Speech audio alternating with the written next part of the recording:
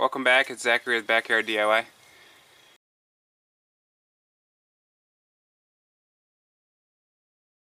Uh, yesterday we were driving and uh, well first of all this video is going to be about checking uh, hung up caliper, how to tell if you have one, how to fix it or if you have to replace it.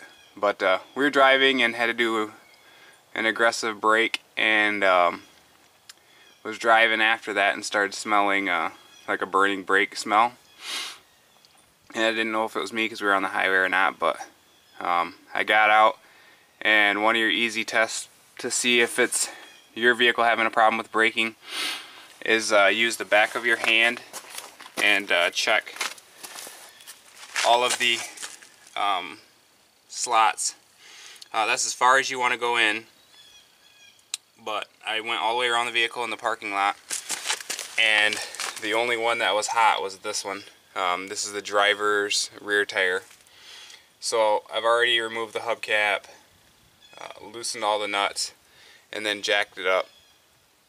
Uh, now I'm going to take the tire off and we're going to figure out why my brakes are getting hot.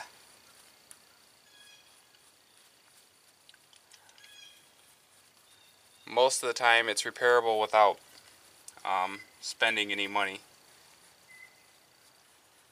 But with the miles that this truck has on it it might um, it might be a broken or a stuck uh, piston inside the brake caliper. If that's the case then uh, we can't repair it. So let's hope it's not that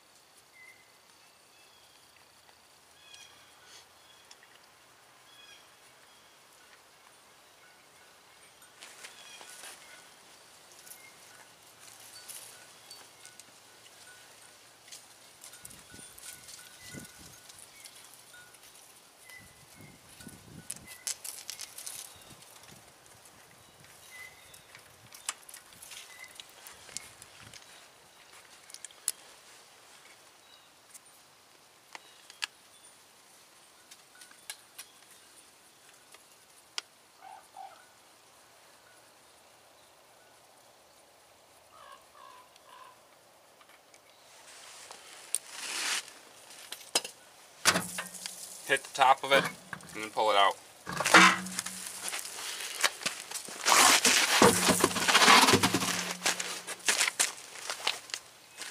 Then it makes a nice chair. Let me see here. So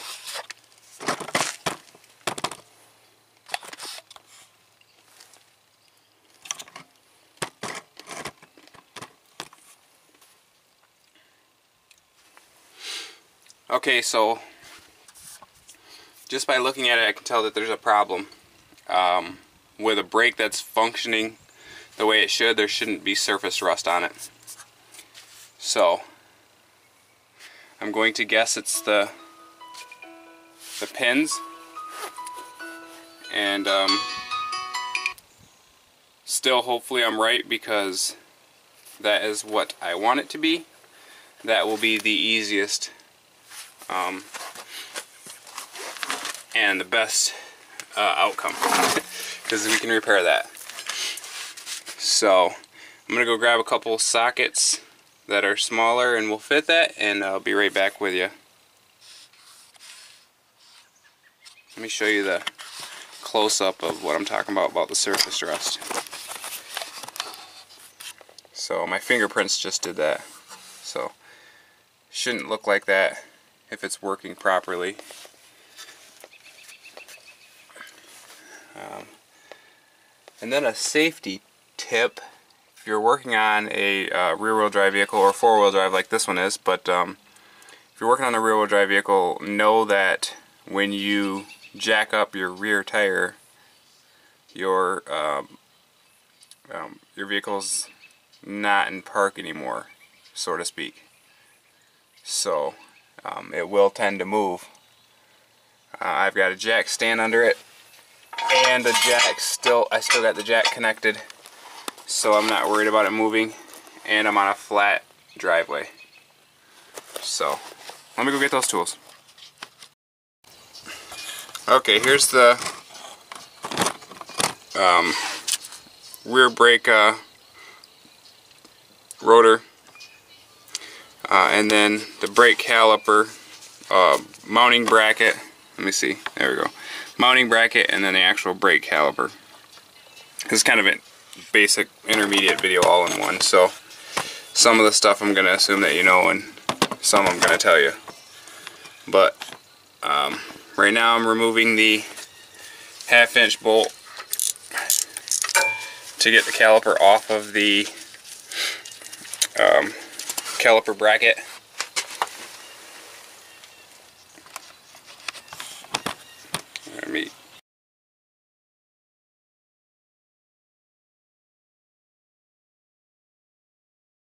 And you don't have to go a whole bunch, just enough that you can get the brake to let go of the rotor because some pressure is good and normal. So there's a half inch on top and a half inch on bottom.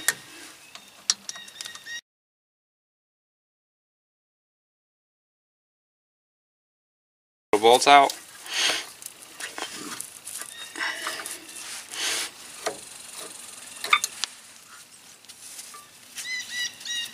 Take the uh, brake caliper.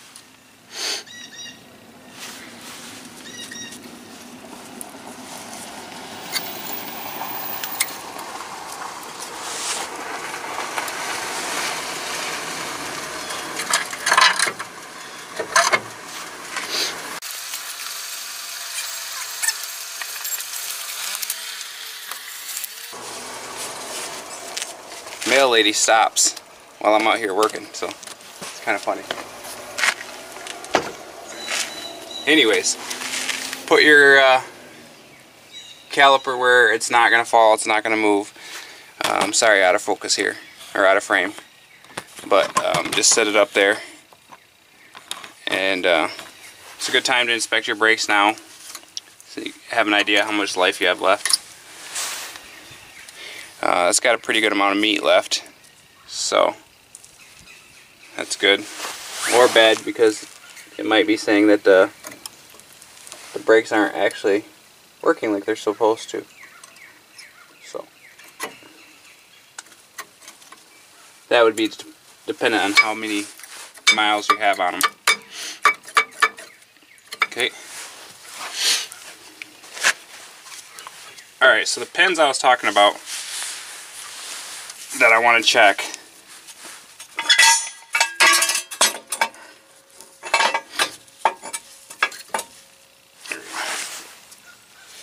Are these right here.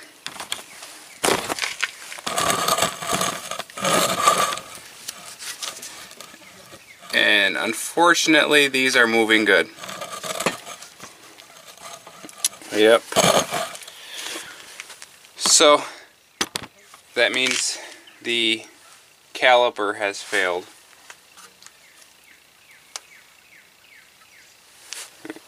These are these are the caliper pins. I'll show you what you should do if those pins don't slide in and out easy. Uh, which is what I was hoping it is. Because then that's the free repair. So now I've got to go price a caliper. I might still have warranty on these because I, I know I've done them since I've got the truck and I haven't had it too super long. But anyways, you would buy the Ultra Disc um, Ultra Disc Brake Caliper Lubricant. It's a green paste for anybody that's familiar with anti-seize, it's in the same bottle, it's just green instead of the silver or copper or whatever. But what I do is I uh, I put a thin coat on the end of it. And I only put it on the end because when I push it into the boot it'll push it back. So it'll end up being the whole pin so you just slide it back in. Twist it if you want a little bit push it in and out and then there's a groove that this rubber protector so those don't get weather into them has on it and you want to push that groove back into it. So and then just push it in and out a couple times test to make sure you've done it right and push it in should shoot back out by itself. So that's the repair I was hoping it was and that's what this video is about is to make a free repair on a hanging up brake.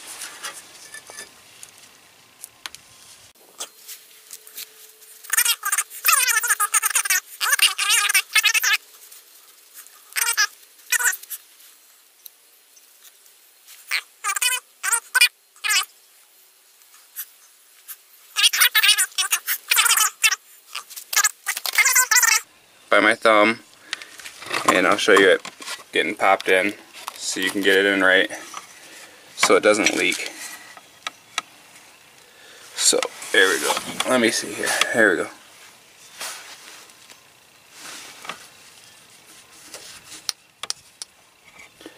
Alright so that's not right right there. You gotta push it further. There we go. And that's all done. And now twist it a couple times, make sure the lubricant's all over the place. Alright. So on this caliper, I think I think I can see why it has failed. Don't know how it happened, but it looks like, and I don't know if the camera can pick this up or not, but yeah, looks like there's a tear right there. So that would let water in and everything let this piston rust.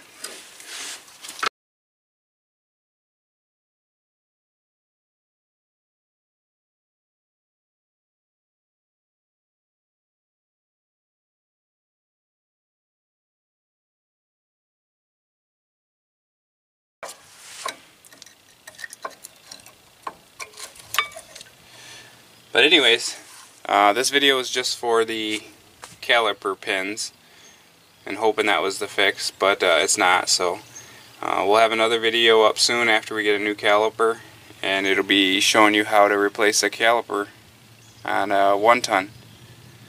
As always, thanks for watching. Click the like button and uh, subscribe to our channel. You get uh, notifications every time we post a new video. Trying to do them two days a week and uh, we throw in a couple other random videos, uh, gaming videos and stuff like that, and in reviews of items.